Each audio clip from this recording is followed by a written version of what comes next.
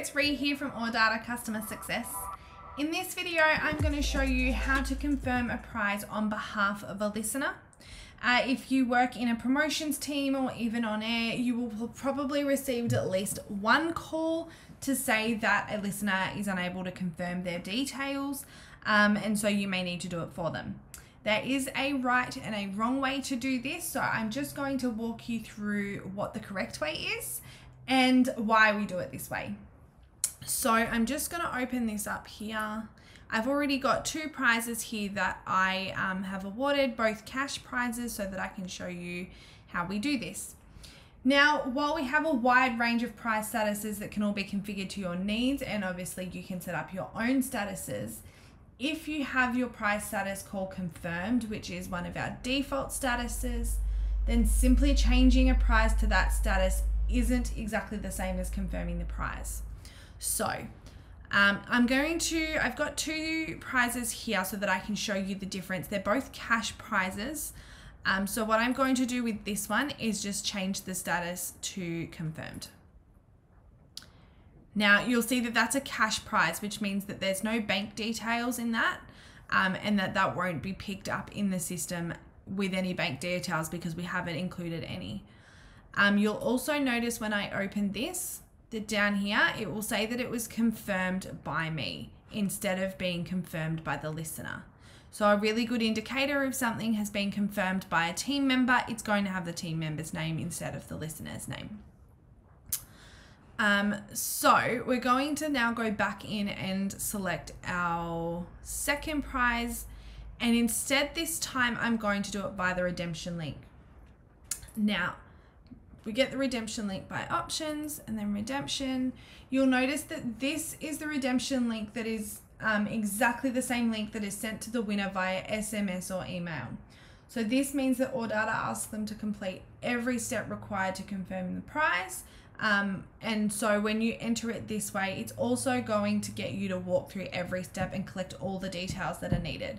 So if you jump in and do this while you've got your listener on the phone, it's going to be really, really easy. Um, for example, when we go through, you'll notice that I click yes, that's just our basic details. It's now asking me for bank details. Um, the other thing that may happen is if a campaign has uh, extra custom fields set up specific to that campaign, um, then they will come up as well. So we just want to make sure that by using the redemption link to confirm prizes, we know that we're getting all the details required for that specific prize um, and that everything that we need is provided. So I'm going to go ahead and select the bank account details and that should finish it up. Great. So we can close that.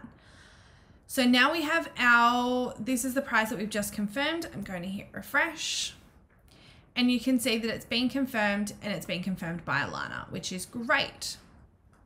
We're then going to open this up in the cash payment and you can see here that the payment details or the bank account details, I should say, are in this box.